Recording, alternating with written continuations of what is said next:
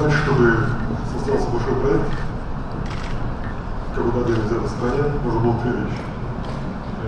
Амбициозный и справедливый коллективное сознание и крепкая семья. Потом начали говорить о том, чтобы состоялся проект, надо иметь ресурсы. Нефть, газ. Честно говоря, я думаю, что самое главное нет, самое главное, чтобы проект состоялся, нужны люди. В Дагестане они есть, это вы. Я реально вам горжусь, где бы я ни был, хотя я часто бываю из дома. Я горд тем, что Дагестан.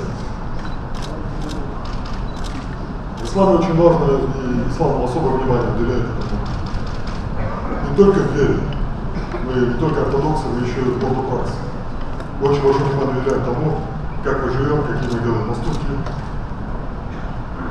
И я благодарю, нам, конечно, нужен в большом смысле успех. У нас крепкий умам, очень крепкие свои этические основы, мы очень крепкие в своей вере.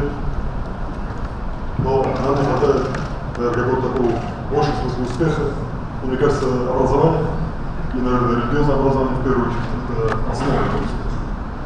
Я хочу поблагодарить нашего шейха, нашего руководителя, руководителя Рамзана Гаджималовича, в том, что они свою лепту в этом вносят. Ну, наверное, все-таки много зависит и от вас, от нас. Аллаху Акбар!